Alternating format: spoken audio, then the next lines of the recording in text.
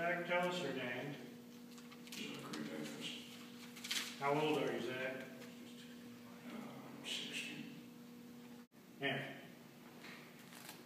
we've heard talk about you hearing voices when no one's there. Do you hear voices, Zach? Yes, Can you tell the judge? Do you recognize that voice? it's the voice of my father. And does he continue to talk with you even after you've been in the jail? Yeah, How often does your father talk to you? usually uh, during the night, Okay, but how often? Every night? usually several times a week. And have you told the doctors that? Yeah, Did you tell Dr. Farouk that?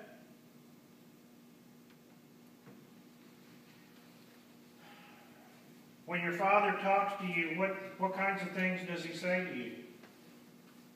mostly just conversation. Has he ever told you to do anything specifically? He sometimes tells me things to do, but it's mostly just conversation between us. Do, do, you, do you do the things your father asks you to do?